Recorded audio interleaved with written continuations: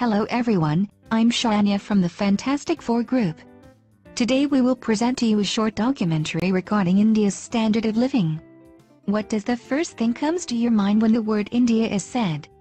Well, for some it will be Bollywood, some would imagine a highly populated country, while some might imagine the dirt and slums.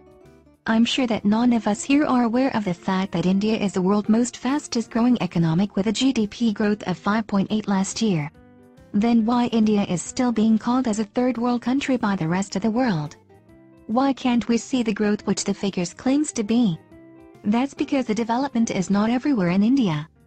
India the second most populated country in the world, not everyone is enjoying the benefit over there. True, it's like the population has been divided into two groups.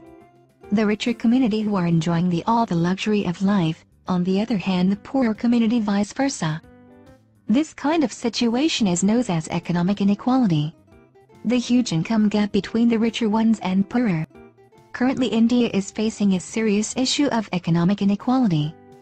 Let's watch the documentary we created to show how does the standard of living of the richer and poorer community in India looks like.